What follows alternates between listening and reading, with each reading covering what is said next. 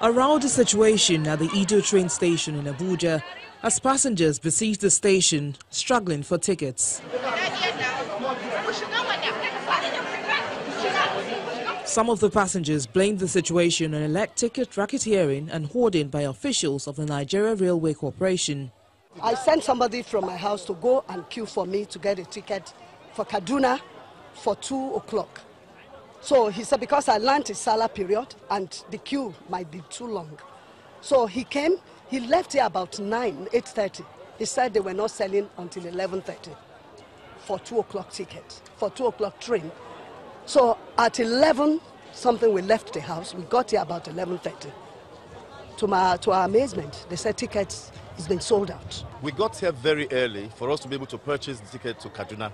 We were only told that we should come back at 11.30. We came back at 11.30, we were told the tickets were over. We now find, have it on good authority that the staff and the police are coming together, getting the ticket and selling outside of the station. Now, in, at this station, please, you can, you can cross-check it yourself. You cannot pay by your with your card or using POS. It's, everything is cash and carry. No official of the Nigeria Railway Corporation will speak to our crew as they claim to be busy when contacted. Although there was heavy passenger traffic at the Nnamdi Azikiwe International Airport, the situation was calm as the departure hall of the airport is filled to capacity. Some of the passengers also share their experience as they prepare to travel for the holiday. The airport is so busy, like um, large crowd out here. I think everybody seems to be going for the holidays.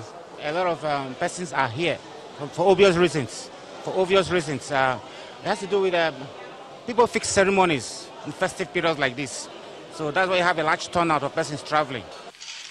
The federal government had declared Monday the 12th and Tuesday the 13th of August as public holidays to enable Muslims in Nigeria celebrate the Eid al-Kabir.